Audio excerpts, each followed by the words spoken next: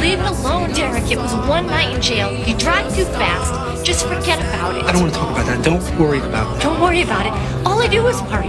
All the time I spend every minute of every day worrying that I'm gonna get a phone call that you wrap your car around a pole. That's why I left you in jail. So that just for a little while I would know that you were dying like you were dying on that table. That's what I think about every time you pull out of the driveway. I'm right here. I'm okay. Okay.